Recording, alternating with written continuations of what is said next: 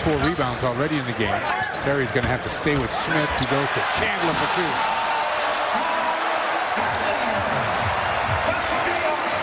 Knicks by six on a 7 nothing run. And Doc is going to take a timeout. They come to their feet here at Madison Square Garden. They love their Knicks.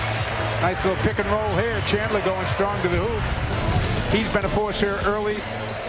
And the Knicks have jumped out to a 14 8 lead.